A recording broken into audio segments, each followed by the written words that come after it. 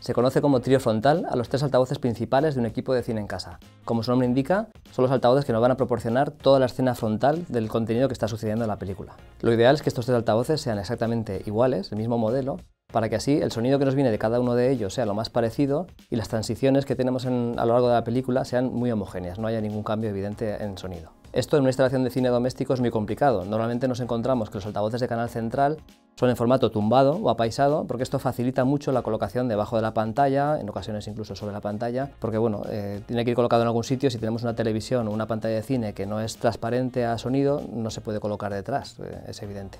De este trío frontal a la hora de ver cine destacaría lo que es el canal central respecto a los otros dos, ya que por él llega a salir incluso el 75% del contenido sonoro de una película. Es bastante común ver equipos donde este canal central se pone demasiado pequeño por, problema de espacio, por ejemplo, por desconocimiento, porque se cree que a lo mejor solamente salen diálogos, voces y con eso es suficiente y no es así. Esto hace que al final la experiencia sonora de la película pues queda mermada y no es todo lo espectacular que debería ser. Siempre que podamos debemos elegir un canal central que sea como mínimo equivalente a los frontales izquierdo y derecho. Si elegimos uno un poquito más grande, mejor, siempre va a beneficiar. Es extra en tamaño a la hora de la calidad de sonido, impacto sonoro, espectacularidad en la película, diálogos, en, todo, beneficia en todo. Si optamos por colocar un trío frontal exactamente igual, con tres altavoces iguales, tres monitores de estantería, por ejemplo, hemos de tener en cuenta que lo que sería el central tiene que ir en posición vertical, exactamente igual a los laterales. Hay usuarios que prefieren colocar solamente los canales izquierdo y derecho y prescindir del central. Si bien es cierto que eso, si nos colocamos justo en el centro, en el medio de los dos altavoces, consigue que las voces salgan del centro de la pantalla, es un efecto parecido a si hubiera un central justamente ahí, eso solamente funciona para un punto. La gente o los,